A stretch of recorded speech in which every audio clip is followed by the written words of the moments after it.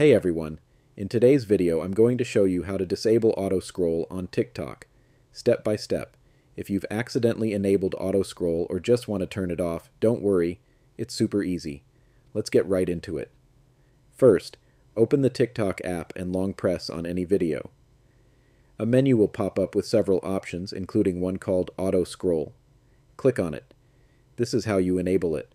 Once it's turned on, TikTok will automatically move to the next video as soon as the current one finishes. But here's how you disable it. While watching any video, look at the top right corner of the screen. You'll see the auto scroll icon. Just tap it once and auto scroll will be turned off. From now on, you'll need to manually swipe through videos yourself. And that's it. If you found this helpful, drop a comment below, give it a like, and don't forget to subscribe for more quick TikTok tips and tutorials. Thanks for watching, and I'll see you in the next video.